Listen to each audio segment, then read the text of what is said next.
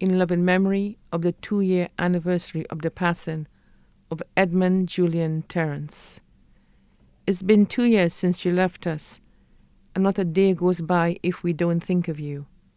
You were a husband, a father, a brother, a grandfather, an uncle, and so to many a good friend.